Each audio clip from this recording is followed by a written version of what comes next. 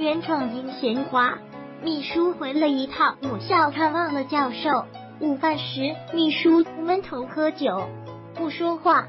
教授不动声色的问：“又发心事吧？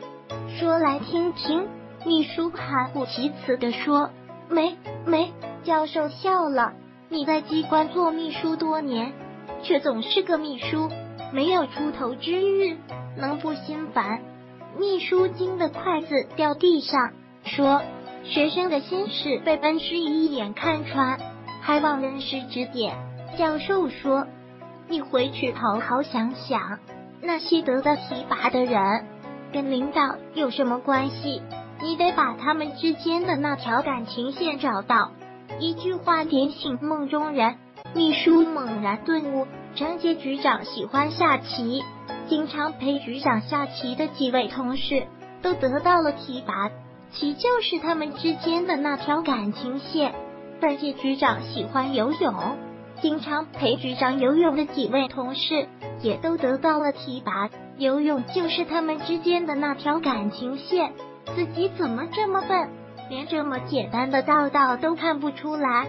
秘书大彻大悟，回到单位就开始了解新局长爱好。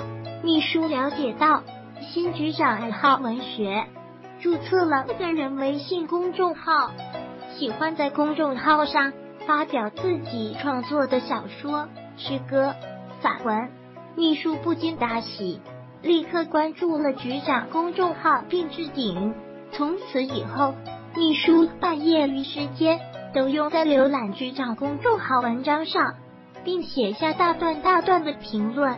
充满赞誉之词，局长有几次拍着秘书的肩膀说：“我的公众号读者不少，但你的评论是写的最好的，我也给你点个赞。”秘书听后笑了，他觉得眼前一片光明，那条感情线终于找到了。半年后，局级关心提拔了一批局长公众号的忠实读者。然而，令秘书意想不到的是。